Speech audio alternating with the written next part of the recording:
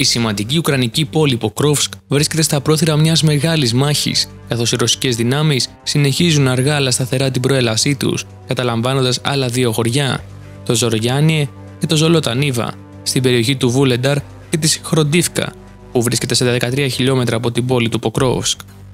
Αυτή η τελευταία κίνηση τονίζει ακόμη μια φορά την επικέντρωση της Μόσχας στην κατάληψη του Ποκρόσκ, μιας πόλης που είναι απαραίτητη για την άμυνα της Ουκρανίας λόγω της στρατηγικής βιομηχανική και εφοδιαστικής υποδομής της.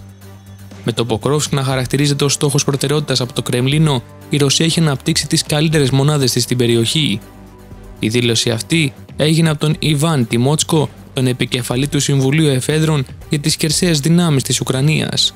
Ο ρωσικός στρατός είναι σε μεγάλο βαθμό πιο μάχημος στο μέτωπο του Ποκρόσκ, υποδεικνύοντας την υψηλή αξία που αποδίδει η Ρωσία στην κατάληψη της πόλης, όπως είπε ο ειδικός. Το Ινστιτούτο για τη Μελέτη του Πολέμου αναφέρει όμως ότι από τον Οκτώβριο του 2023 οι ρωσικές δυνάμεις έχουν υποστεί σημαντικές απώλειες γύρω από το Ποκρόσκ.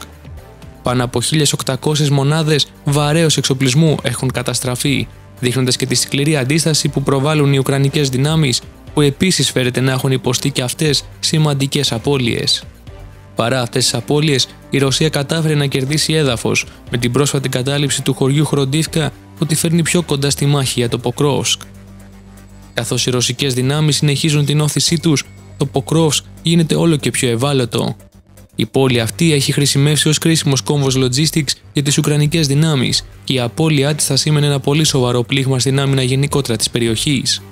Οι ρωσικές δυνάμεις βρίσκονται τώρα σε απόσταση κρούσης και προετοιμάζονται για αυτό που πολλοί πιστεύουν ότι θα είναι μια έντονη και αποφασιστική μάχη για τον έλεγχο της πόλης. Σε απάντηση, οι Ουκρανικές δυνάμεις ενισχύουν τις θέσεις τους γύρω από το Ποκρόβσκ, μετατρέποντάς το σε αυτό που ορισμένοι αξιωματούχοι ονόμασαν Πολυφρούριο.